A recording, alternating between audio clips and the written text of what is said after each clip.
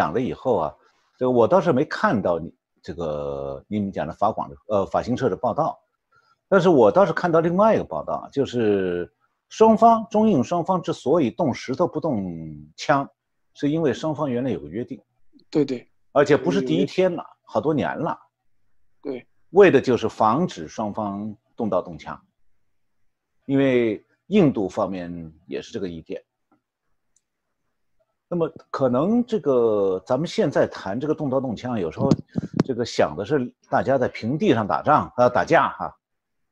在一块开阔地上，双方互相动拳动脚。但实际上这回不是啊，这回是在你们谁爬过华山呢？嗯，你的华山那个最险要的地方，中间就一米宽不到，两边都是悬崖，你在双方那里上边打架，你说？谁能赢？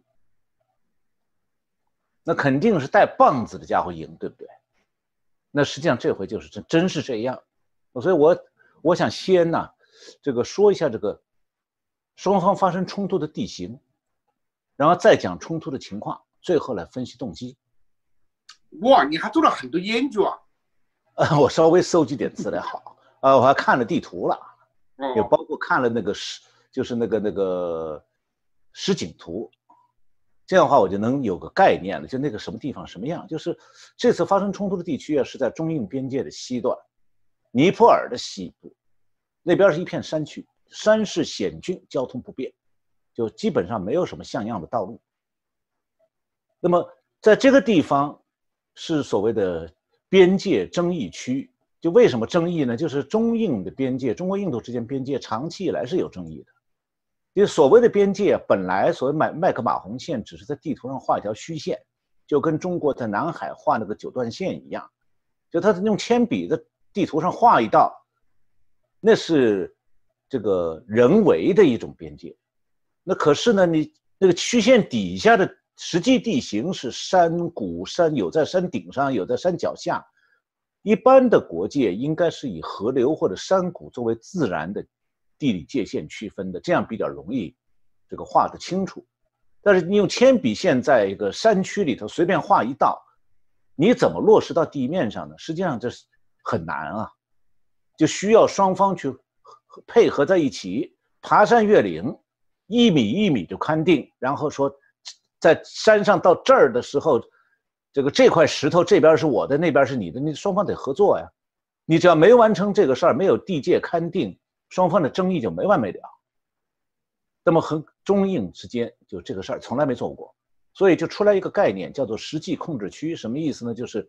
谁控制了算谁的。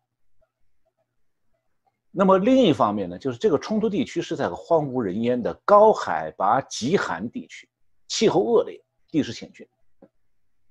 在这种地方双方都没有居民，所以也没有什么可以争夺的资源，争的就是各自的面子。所以你不可能因为经济活动而引起纠纷，它就没经济活动。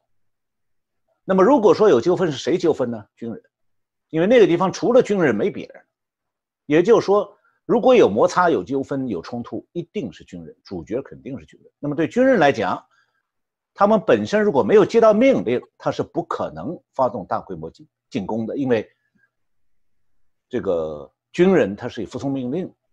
为天职的。没给他下命令，他自己擅自的说：“我我今儿高兴把对面给揍一顿。”那个东西军人要受受自己的部队的处罚。那么换句话讲，就如果军人和对方发生冲突，那背后就是政府。也就是说，政府想制造摩擦的时候，军人就会奉命去摩擦，奉命行事。那么这次呢，发生冲这个摩擦的地方不是平地，是在峻峭的山林顶上。那么这样的话呢，所以。双方如果在这样的地方，就相当于在华山最险要的那个山顶上，两边都是悬崖的时候，你双方在那上互相推搡打斗，那很容易把对方一推就推下山顶摔死了。那么印度讲的很委委婉，说是因为极地高寒，很多士兵受伤以后没有能够及时救治。其实准确的来讲是，那一旦被推下去以后，找都找不着，找他就费半天劲儿。那么这样的话呢，摔伤以后没办法及时救治的，所以摔了下去就就基本上就玩完了。那么就双方来讲，士兵的状况是什么呢？中方士兵带的工具是上面装了铁蒺藜的大棒子，印度士兵没有打架的准备。那种大棒子是冷攻击性的冷兵器，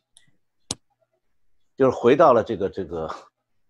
有这个火枪之前的古代了。那这种大棒子如果不是事先奉命准备的话，一般人不是平常日常之情非得准备好的东西。解放军几十年没用过这样冷兵器了，那印度士兵也没有这样的冷兵器，所以很显然的，事先准备要冲突的是事先准备好大棒子的带铁蒺藜的这种大棒子呢是中方。那么过去啊，这个边界双方的巡逻队会沿着实际控制区面对面的展开横幅，向对方表达自己的这个主权的意思。然后呢，举了横幅以后就各自各走，各走各的回家了。那么，印度是每年会记录呢，有大概数百次中方跨越这个实控实际控制区的边界，越越过边界的那个控制区的边界，进入印方控制区。每年有数百次。那么，二零一三年以来，双方的对峙呢，这个时间更长。中方甚至进入故意的进入印方控制区呢，在那里安营扎寨。那么，二零一三年第一次对峙呢是数周，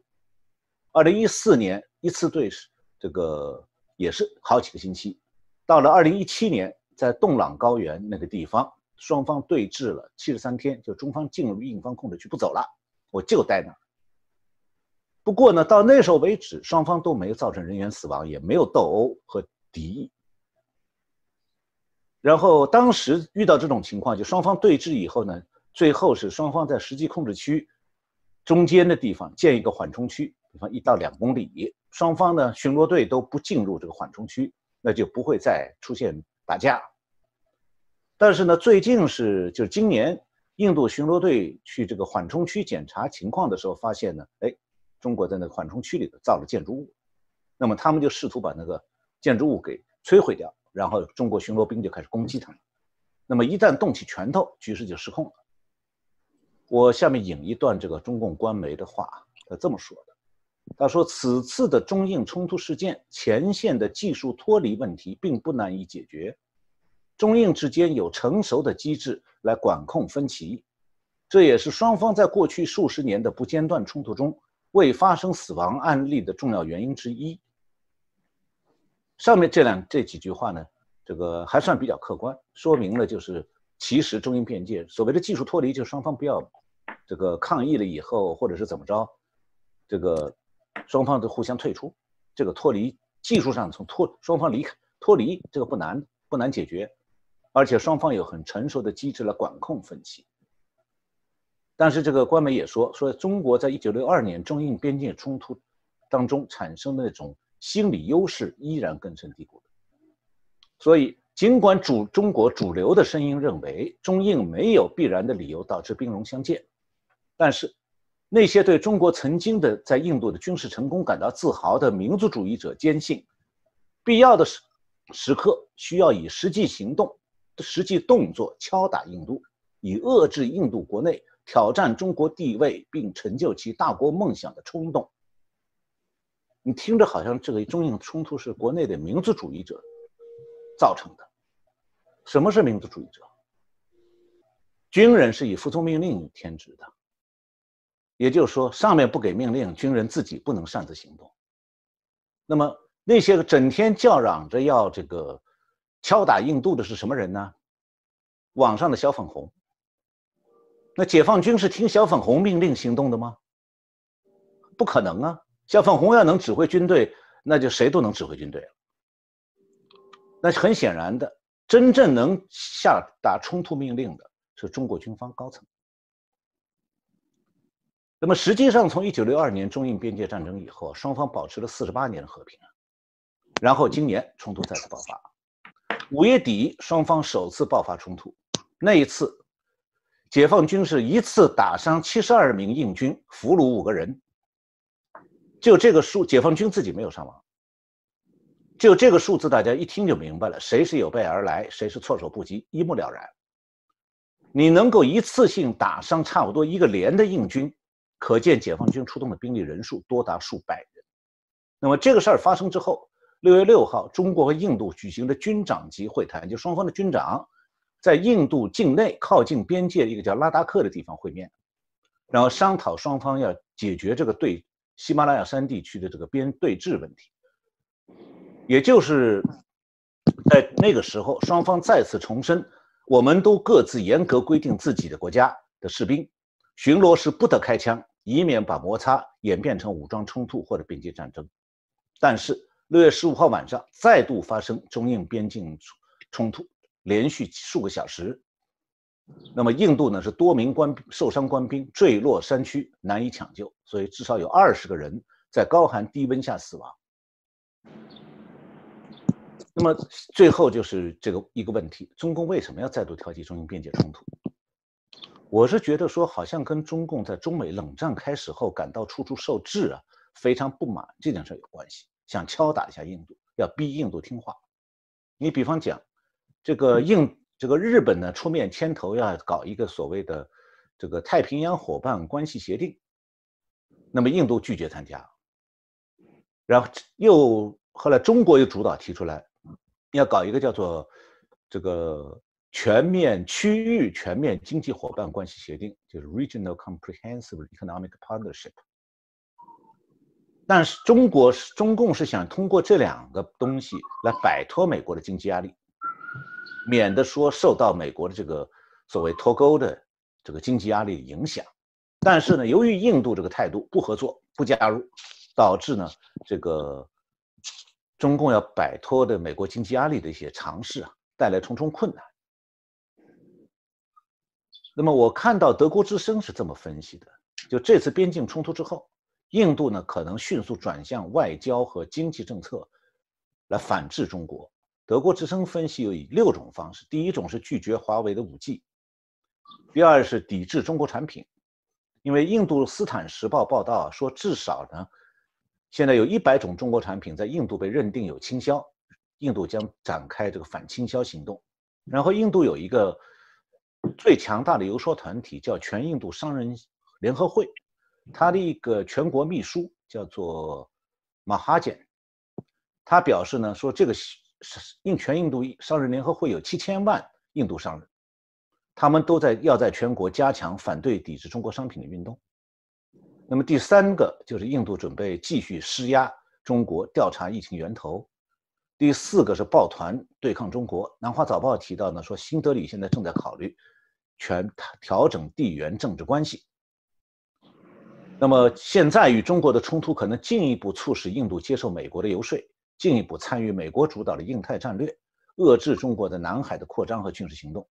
那么第五个是扩大国际参与，选任专家进入国际组织，在学术界和私营部门中积极参与，争取印度的话语权。第六个是增加军力，现在双方都在增兵，